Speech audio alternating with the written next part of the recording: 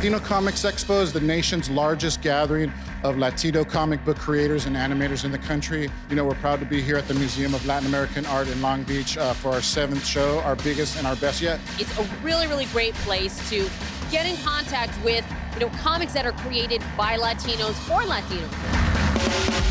We're kind of creating our own space here, you know, and I like the show of force of all of us getting together. We're 18% of the population, but only 2% representation in mainstream media. Just being around all these different artists who are creating characters that reflect the community. You want Aztec culture, lowrider, lucha libre, you know, this is the place to be. Let me hear you. Are you having a good time at the Latino Comics Expo? It's safe to say there's three generations of cartoonists here, all pretty much spawned from the from the gene pool that is the Hernandez brothers. We're celebrating the 35th anniversary of uh, the legendary Love and Rockets. It basically came from uh, just wanting to do comics that we weren't seeing. Things we wanted to read. I've drawn Spider-Man and other characters just for my own amusement. I respected the, the original creators of those characters so much. I didn't need to do what they've already done. I just wanted to tell my story with the way I want to draw and with the characters I want.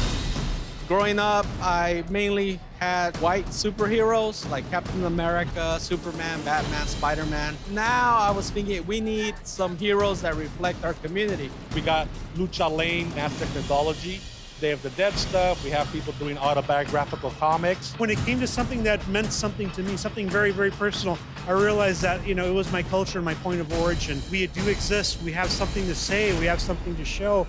I think people need to see representation of people within the industry so they can feel empowered to come in as well. We need the people who have actually been there to bring those stories to the people. One of our mottos is that comic books can be a, a, very strong bridge for literacy. Young people, they need to see themselves in the narrative. They need to see themselves in the story. But Also to talk about a way of understanding how we co-create when we're reading comics. And by doing that, we invest in the humanness of the comics. I like that everything's focused on the art here as opposed to all the other outside influences that are coming into the comics world. We get to actually focus more on the art and the storytelling and actually get to meet people that are really more interested in engaging in these stories. It's just a joy to be able to do our comics our way and to get that kind of response, to get people to want to know how it's done, where the stories are coming from or where they're going, and, and to inspire people to do it themselves. Representation matters, so as someone that's a big fan of comic books, it's really amazing to see uh, myself represented in them. I think it's important that we're represented positively because we're not all bad hombres.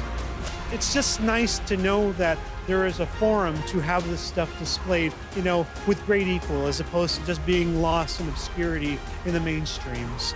We're not just a fringe, we're not just like the other, the exotic, we're more. We're human uh, feeling complex people. What better way to bring that to life than through comics?